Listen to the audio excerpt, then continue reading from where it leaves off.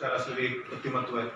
आणि ते पण या केसला खूप सपोर्ट करतायत. ते बघितलंय की त्याचा निकाल आपल्या बाजूने लागलाच पाहिजे.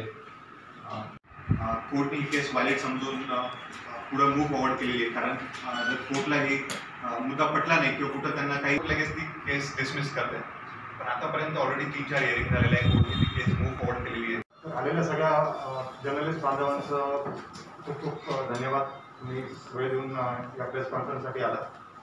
तर थोडक्यात सांगायचं म्हटलं तर एक आम्ही एक डेटिंग ॲप काढलेलं दोन हजार अठरा साली.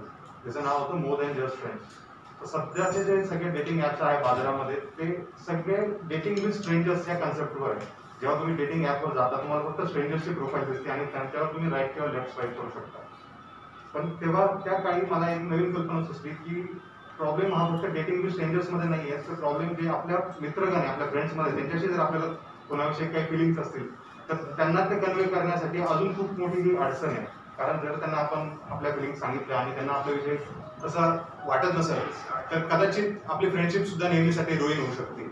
म्हणून जो मार्केटला जो एक सेक्टर होता डेटिंग विथ स्ट्रेंजर्स तसा एक खूप मोठा स्पेस मोकळा होता की डेटिंग अमंग फ्रेंड्स तर मी एक मेकॅनिझम डिवाइस केलं ज्याच्याने आपण आपल्या फ्रेंड्सला आपल्याविषयी काही फिलिंग्स आहे का हे आपण त्याला आपल्या फिलिंग्स न सांगता आपण कळू शकतो. हे मेकॅनिझम होतं की आपण त्याला लाईक करणार सिक्रेटली जर त्यांनी आपल्याला सिक्रेटली लाईक केलं आणि दोघांचं मॅच झालं तरच एक दुसऱ्याला दुसऱ्यांची आयडेंटिटी रिव्हील होणार. ही मार्केटमध्ये नवीन कन्सेप्ट होती नॉवल कन्सेप्ट होती.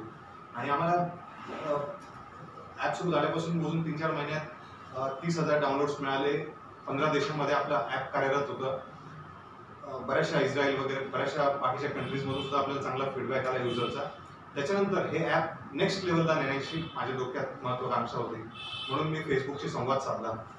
फेसबुक त्यावेळेस डेटिंग स्पेसमध्ये नव्हतं. नंतर फेसबुक डेटिंग स्पेसमध्ये आलं.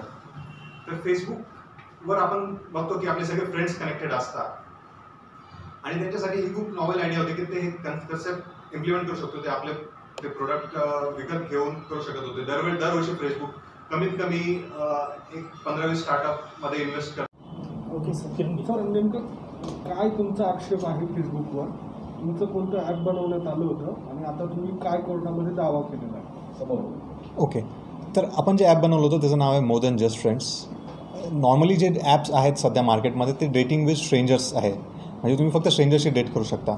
पण एक खूप मोठा एक स्पेस आहे की डेटिंग अमंग फ्रेंड्स जर आपल्याला आपल्या एखाद्या फ्रेंडविषयी जर काही भावना असतील तर त्या आपल्याला त्याला फ्रेंडला सांगण्यासाठी खूप एक एक हेजिटेशन असतं. एक तर हा प्रॉब्लेम सॉल्व्ह करण्यासाठी एक आपण एक मेकॅनिझम डिवाईस केलं की तुम्ही सिक्रेटली तुम्ही जाणू शकता की तुमच्या फ्रेंडला तुमच्यामध्ये इंटरेस्ट आहे की नाही. तर त्या तुमच्या फ्रेंडला इंटरेस्ट नसेल तर तुमच्या फ्रेंडला हे कधीच कळणार नाही की तुम्ही तुम्ही तुम्हाला त्यांच्याविषयी काही फिलिंग आहे. जर दोघांना एकमेकाविषयी जर फिलिंग असतील तरच दोघांना मॅच मिळेल आणि तेव्हाच समोरच्या व्यक्तीला कळेल की ओके माझ्या फ्रेंडला पण आहे. त्यावेळेस काही एम्बॅरेसमेंट नसते जेव्हा दोन्ही एक एकमेकाला लाईक करता. आणि त्यामुळे आपण अशी कन्सेप्ट घेऊन आपण एक ॲप बनवलं. आणि हे जगातलं पहिलं ॲप आहे जे की डेटिंग अमंग फ्रेंड्स साठी. आहे जे बाकीचे ॲप्स याच्यापूर्वी आले होते टिंडर बंबल हॅपन वगैरे ते सगळे डेटिंग विथ स्ट्रेंजर्स आहे. आणि मला असं वाटतं की डेटिंग विथ स्ट्रेंजर्स एक ठीक आहे पण मी एक जे ॲनालिसिस केलं होतं की किती प्रतिशत लोकांना त्यांच्या फ्रेंड्सविषयी भावना आहे. कोणी एका फ्रेंडविषयी काही भावना आहे पण ते बोलू शकत नाही. तर माझ्या ॲनालिसिसनुसार एटी पर्सेंट लोकांना कधीतरी आपल्या आयुष्यामध्ये आपल्या कोणत्या तरी फ्रेंडविषयी भावना असतात. पण त्या कन्वे नाही करू शकत. का कारण जर आपल्या फ्रेंडलाही आपल्याविषयी त्या सिमिलर भावना नसतील तर आपली फ्रेंडशिप कुठेतरी एक रुईन होऊ शकते. ह्या रिस्कमुळं ते कधी कन्वे केलं जात नाही. पण मला वाटतं की हा खूप एक इम्पॉर्टंट इश्यू होता ॲड्रेस करण्यासाठी म्हणून आपण ते मेकॅनिझम डिवाईस केलं. त्याच्यानंतर दोन हजार अठरा साली मी फेसबुक दरवर्षी बऱ्याच नवीन स्टार्टअपमध्ये इन्व्हेस्ट करतं वगैरे किंवा सिमिलर कन्सेप्ट ॲक्वायर करतं. त्यांनी रिसेंटली ॲक्युलस वगैरे अशा मोठमोठ्या स्टार्टअप्स ॲक्वायर केले टी बी एच वगैरे. त्यामुळे आपल्याही एक कन्सेप्ट त्यांच्या कुठेतरी काम येईल. म्हणून मी त्यांचे जे प्रोडक्ट मॅनेजर आहे dating prod product manager Charmaine Hung यांच्याशी संवाद साधला. पण त्यांनी आपलं कन्सेप्ट घे आपल्याला कुठे ॲक्नॉलेज करण्याऐवजी त्यांनी सिमिलर कन्सेप्ट हा त्यांच्या नावानेच लॉन्च केला आणि त्याला ते सिक्रेट क्रश म्हणता आणि त्याचं सिक्रेट क्रशला एक्सप्लेन करण्यामध्ये त्यांनी मोर दॅन जस्ट फ्रेंड्स या नावाचा उल्लेख केला. म्हणजे हे कुठेतरी डॉट्स कनेक्ट होत आहे की त्यांनी आपला कन्सेप्ट वापरला आपलंच डिस्क्रिप्शन त्यांनी वापरलं आहे आणि काय? तुम्ही पुढे काय करायचं? आता ही त्यांच्या अगेन्स्ट मी ऑलरेडी ह्या ॲपचं पेटंट दोन हजार अठरा दोन हजार सतरा नोव्हेंबरमध्ये मी फाईल केलेलं आहे. ते ऑलरेडी इंडियामध्ये पब्लिश झालेलं आहे. तर माझं आता कोर्टाकडे एकच आहे की मी फेसबुककडे इंटरिम इंटरिम इंजंक्शन मागितलं आहे की तुम्ही हा फीचर इंडियामध्ये वापरू नका जोपर्यंत कोर्ट याचा काही निकाल देत नाही. कारण ऑलरेडी आमचा प्रायोरिटी राईट आहे या फीचरवर एवढी ही केस चालू आहे. तर एक वर्षापूर्वी आपण कोर्टमध्ये केस फाईल केली होती पुणे डिस्ट्रिक्ट कोर्टमध्ये पण